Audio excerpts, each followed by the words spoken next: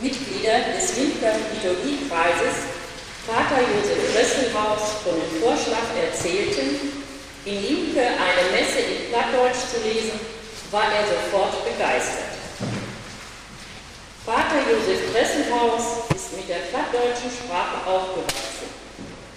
Obwohl er viele Jahre weit weg von seiner Heimat lebte, beherrscht er dieses Blatt wie kaum ein anderer. Jahr auf dem Erntedankfest dürfen wir uns davon überzeugen. Es war auch nicht schwer, Vater Josef Dresselhaus für diese Messe zu gewinnen. Dank seines Engagements ist es uns möglich, heute zum ersten Mal in Limpe die Eucharistie in plattdeutscher Sprache zu feiern. Zugegeben, dieser Sprachgebrauch bei der Feier der Heiligen Messe ist auch heute noch ungewöhnlich. Wir sind aber überzeugt, dass viele unserer Vorfahren gern die Messe in ihrer ihnen anvertrauten Sprache gefeiert hätten, wenn nicht Latein die liturgische Sprache gewesen wäre. Das Zweite Vatikanische Konzil hat uns diese Möglichkeit eröffnet. In Linke wollen wir heute von dieser Möglichkeit Gebrauch machen. Wir sehen darin auch keinen Rückschritt. Vielmehr ist es ein Schritt hin zu unseren Wurzeln. Wir freuen uns, dass viele Menschen, auch aus den umliegenden Gemeinden, unserer Einladung gefolgt sind.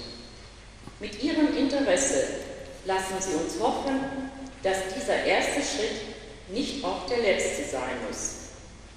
Wir wünschen Ihnen und uns eine Feier, die aus dem Herzen kommt und die zu Herzen geht.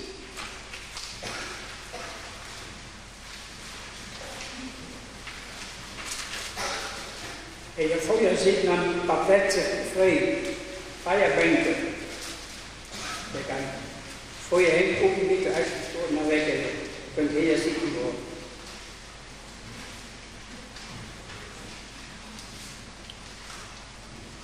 worden. Zusters en broers,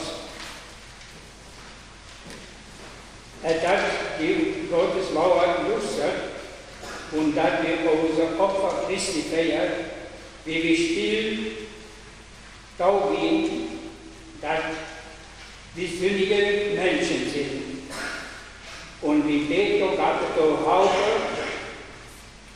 ich gib vor Gott den allmächtigen Zauber und von allen Schwestern und Brüdern, dass glaube, in Lohn und einiges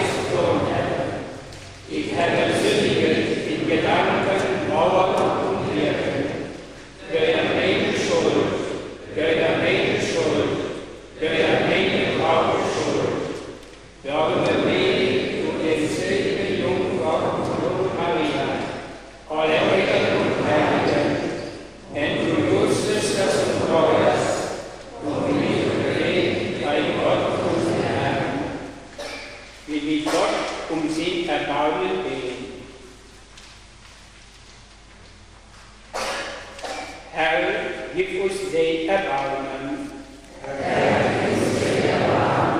Christus, gib uns den Erbarmen.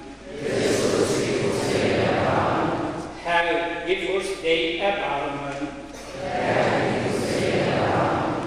Der mächtige Gott, erbarme sich über uns und gib uns das ewige Leben.